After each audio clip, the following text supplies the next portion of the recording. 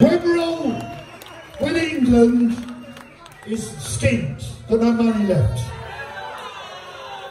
we're all gonna move to fucking Somerset and drink shitloads of fucking apple cider.